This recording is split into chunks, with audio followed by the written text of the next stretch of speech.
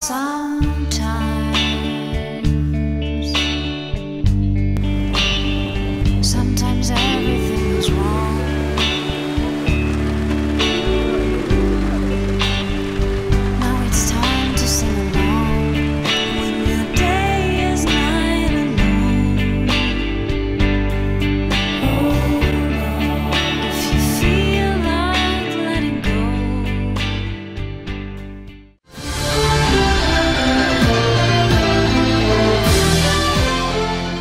Na manhã desta sexta-feira, 10 de março, agricultores familiares participaram de mais um dia de curso no mercado público de Tapes.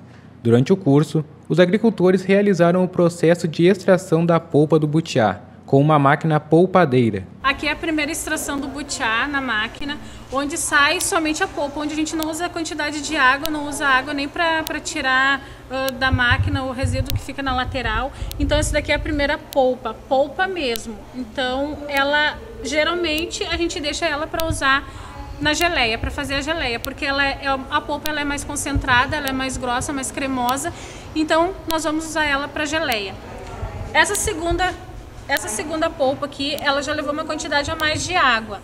Até para poder tirar da máquina, onde a gente vai trabalhando na máquina com uma quantidade de água, onde o butiá, conforme a máquina vai girando, o butiá ele vai subindo na máquina. Então a gente usa uma quantidade de água a mais para esse butiá ir descendo e ir fazendo o processo de despolpar ele, onde sai com água junto essa segunda polpa aqui. Então essa polpa aqui a gente deixa ela para usar no suco, porque ela foi uma quantidade a mais de água.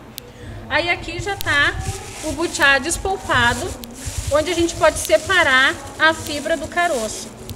O caroço, geralmente a gente usa ele no artesanato tá?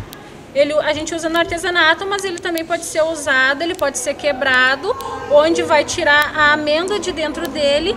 Essa amêndoa a gente pode passar no processador e vai extrair o óleo de amêndoas, né? E ele assim inteiro, ele é usado no artesanato para fazer colares, fazer quadros, fazer diversos tipos de arte- de artesanato é feito com o caroço do butiá. A fibra que fica do butiá, pode ver, é só a fibra aqui, ó. Ó, o- butiá é bem fibroso, então essa fibra a gente usa ah, na culinária. Ela é usada tanto no artesanato quanto na culinária. Geralmente, no artesanato é feito máscaras com a fibra. Ela tem o processo, né, depois de, de formar a máscara, de secagem da máscara.